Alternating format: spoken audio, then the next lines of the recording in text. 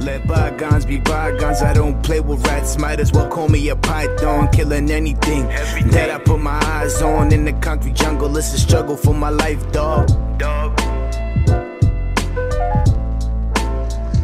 Five reasons to own a boa. You know I had to come at you with this one, and you know this is gonna be easy for me to say. Number one, hardiness. They are these snakes can withstand low humidities. I wouldn't say high humidities, but they do pretty well with 40 to 60 percent. No issues recorded or even known. Heard of snakes that have been kept in a tank for over 20 years with no proper care, no heating, living at room temperature, digesting their food and doing everything they had to do. So these snakes can and will last a long time. Number two is handleability. Boas with the proper care, proper approach, and consistent handling can be very, very well handled. Without a problem, you can pretty much get your big bow out of his enclosure and handle him, enjoy him. They can be feisty or they could be the complete opposite.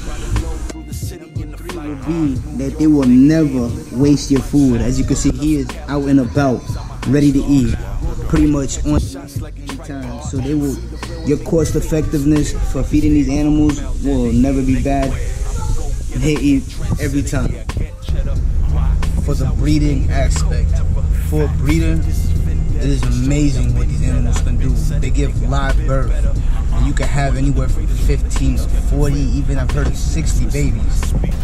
So very profitable, very low cost, and actually because you don't gotta incubate them besides keeping the mom at the right temperature.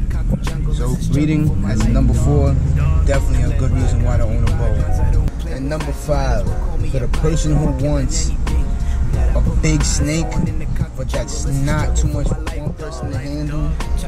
A boa constrictor is definitely the way to go, and definitely the reason why you want to own it. It's not a snake where if you were to step on it, mm, you, man, man, I, I would think a fully grown adult wouldn't get hurt if he's lightly stuck in a snake. And it's not a snake that you could lose in your house that easy. Because its size is so, you know, its size is definitely in sight. You could definitely see it from a distance. So size for me would be the number one five reason why to get the boa because this is an amazing snake.